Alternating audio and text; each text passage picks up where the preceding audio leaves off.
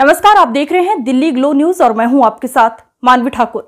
शुरुआत करते हैं आज की खास खबरों से। राजपुरोहित समाज के आराध्य संत खेतेश्वर 111वीं जयंती धूमधाम श्रद्धापूर्वक मनाई गई। जोधपुर में राजपुरोहित समाज द्वारा खेतेश्वर जयंती महोत्सव समिति के तत्वाधान में संत खेतेश्वर महाराज की आकर्षक झांकियाँ युक्त शोभा यात्रा निकाली गई। इसमें पर्यावरण नशा मुक्ति एवं सामाजिक जागरूकता, स्वच्छता का संदेश देती झांकियाँ भी नज़र आई।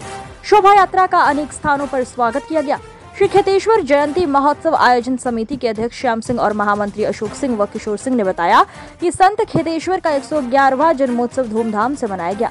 महोत्सव के तहत संत खेतेश्वर ब्रह्मा धाम आसोतरा के गादीपति ब्रह्मा सावित्री सिद्ध पीठाधीश्वर संत तुलसाराम के सानिध्य में, आचार्य महामंडलेश्वर, संत निर्मल दास की उपस्थिति व वेदांत आचार्य डॉक्टर धनाराम के निर्देशन में।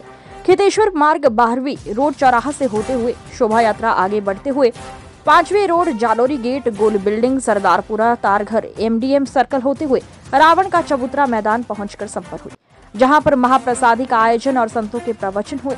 शोभा यात्रा में सत्य सनातन धर्म से ओतप्रोत झांकियों को शामिल किया गया।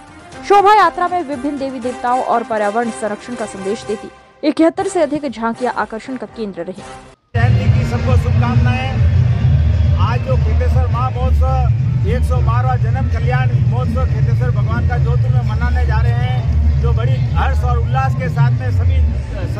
का सहयोग, गुरु भक्तों का सहयोग, तुलसाराम जी बाबू जी के सानिध्य में, धनाराम जी बाबू जी के सानिध्य में, निर्मलदास जी महाराज के सानिध्य में बड़ी हर्ष और उल्लास के साथ संत चेतेश्वर मार्ग बारी रोड से रवाना होते हुए पांचवी road, Jalori gate railway station, Sardarpura होते हुए राउंड के समुद्र में माँ प्रसादी का आयोजन, राजपुर समाज की ओर से